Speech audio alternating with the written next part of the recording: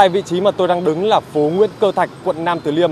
Mặc dù cả hai làn của tuyến đường này đã được thành phố rào chắn một nửa để thi công đường, khiến các phương tiện di chuyển chậm, tuy nhiên cũng không có ùn tắc xảy ra. Xin mời trường quay. Như anh vừa chia sẻ thì tuyến đường Nguyễn Cơ Thạch tại khu vực gần sân vận động Mỹ Đình đang được thành phố Hà Nội rào chắn lại để thi công. Vậy tuyến đường này cụ thể thì đang thi công hạng mục gì và thời gian thi công như thế nào và ảnh hưởng ra sao đến việc đi lại của người dân tại khu vực này ạ? Việc thi công tại tuyến đường Nguyễn Cơ Thạch thì nằm trong dự án công hóa mương thoát nước Mai Dịch Phú Đô nhằm phục vụ mục đích xây dựng đường đua F1 tại Hà Nội. Hiện mỗi làn đường tại đây thì có chiều rộng là khoảng là hơn 7 mét thì đã bị rào chắn tới hơn 4 mét để phục vụ thi công.